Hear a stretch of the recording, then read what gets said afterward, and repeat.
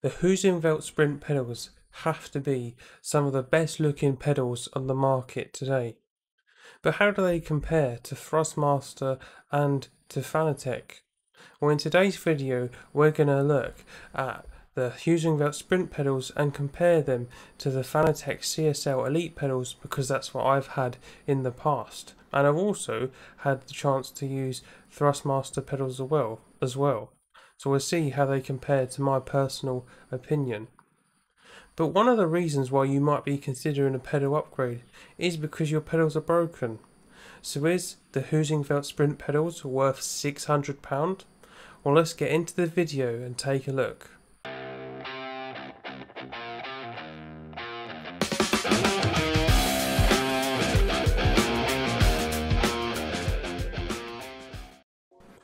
So what's the first thing that stands out about these pedals are they're a brushed chrome-like metal and they feel really nice being the way they've been machined.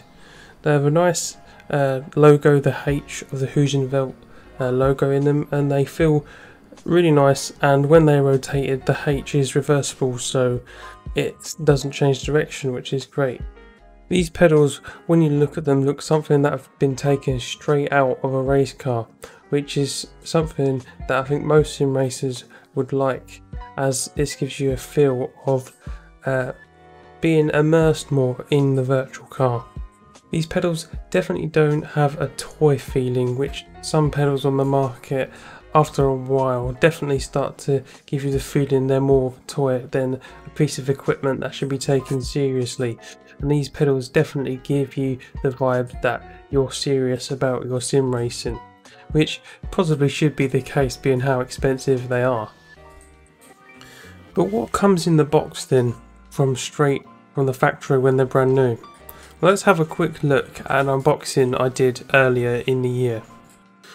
I literally got these straight from the delivery driver and started unboxing them as soon as I could on my desk. So this gives you the first impressions and how to assemble them and I'll talk you through the bits that I got and the experience I had assembling them. As you can see I picked up the pedal plate for these pedals and I will talk you for the reason why I think everyone who gets these pedals should pick them up even if you have a base where you can screw straight through and just have the pedals. There was nothing wrong at all with these pedals but the only thing seems to be is in the shorter stands one of the stands seems to have almost no coating on uh, one of them so it had gone all sort of rusty as you're seeing right now. But other than that, they are in perfect condition, so I was able to mount them straight away. Uh, you'll notice when I was mounting it that it comes with all the parts you need to put it together, so the spanner and the uh, little allen key you need to hold everything together. And you'll also notice when I was putting this together, these pedals together, that the faces and the actual angle is very different to what I uh, set it as when I actually put them on the rig because when they turn up the pedal pedal plate was as max as it could go and also it, the uh, what do you call it the nut or bolt at the bottom had been put at the lowest settings the pedal was almost uh, already at almost like a 35 degree angle so there's lots of adjustability on these pedals and we'll go into that in further detail in a minute.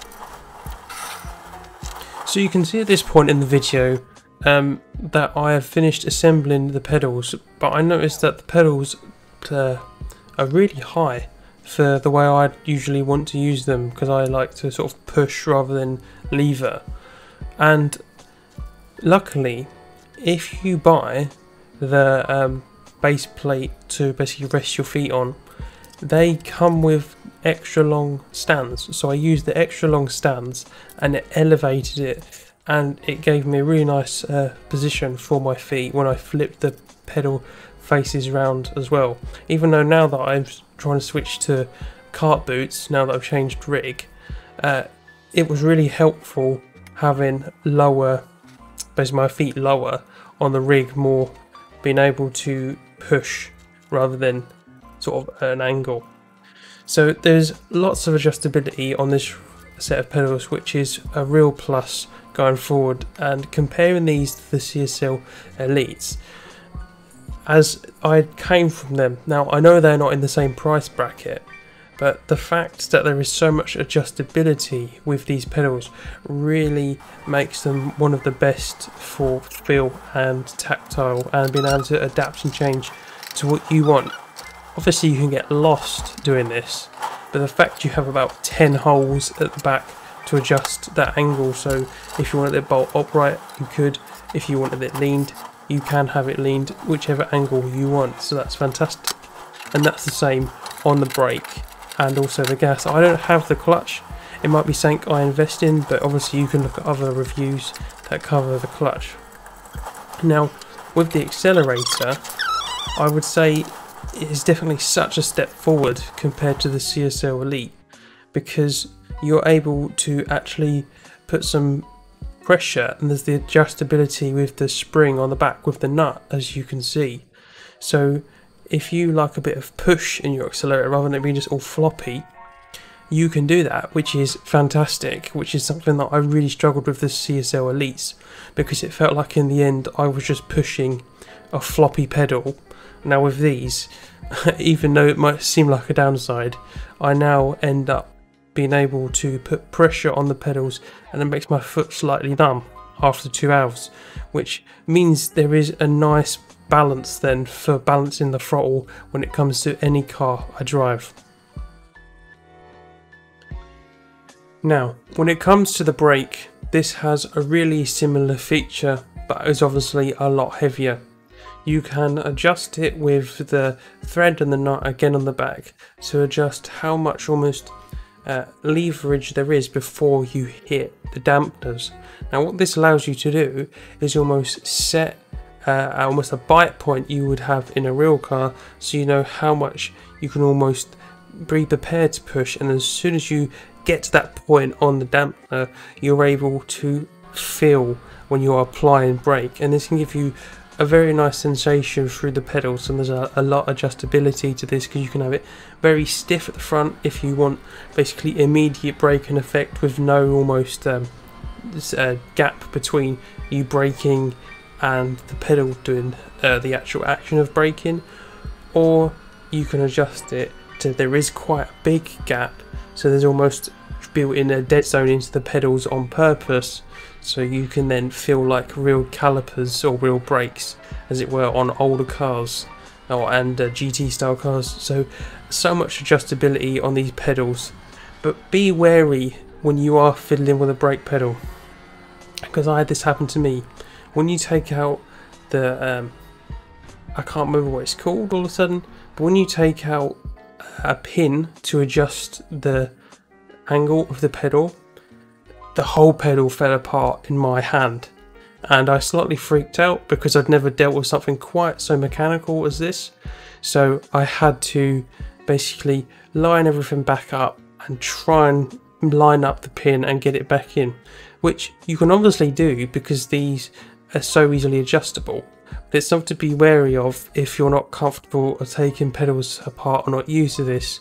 Just make sure you keep all the olives because there are ones that can fall out that are in between the pedals and the plates that hold the pedal uh, mounts. So then, pretty good adjustability and lots of different ways to adjust these pedals with the amount of dampeners you get as well. So I guess the real question is then, do these pedals actually help you, say, for actual driving? Because otherwise there's no point spending so much money on a set of pedals.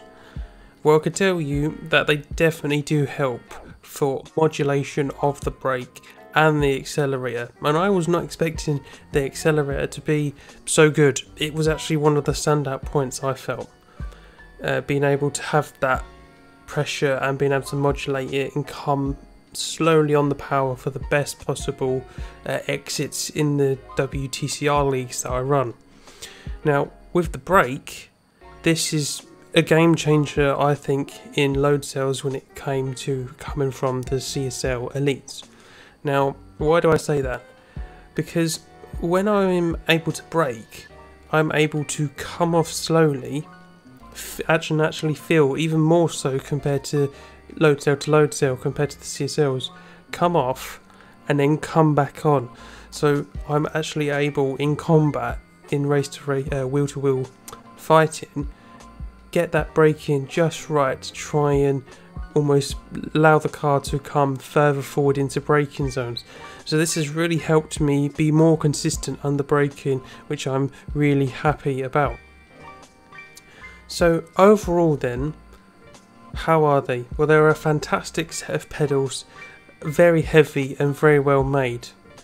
And they're endorsed by Williams Esports, so definitely something to think about as you might think oh, are they just endorsed and actually they're crap. No, not at all. They're really good. If you're tempted, if you've got the money and you're thinking, should I get the ultimates? I'd almost suggest buying these first because the ultimates are more for real sim racing drivers. And this is something I've heard from actual racing drivers from stuff I've watched online and from actual other YouTubers' experience having a go with the ultimates. So these are a fantastic set of pedals. I would not hesitate to pick them up if you are thinking about getting them. So hopefully this helps in your decision making. Hopefully guys this has given you a good understanding of the Heusinkveld sprints and uh, seeing what they look like as in when you're building them and the advantages you can take away from say uh, other pedals. Uh, what I'll do is as this is run on for a bit I'll make another video comparing the looking at the CSL Elites but comparing it against a higher end set of pedals. Uh, if you could like and subscribe that would be fantastic as I'm a little channel so any uh, followers is fantastic. But thank you very much guys and I'll catch you in the next one. This is Billy Goat Boy signing out. See you guys on the track.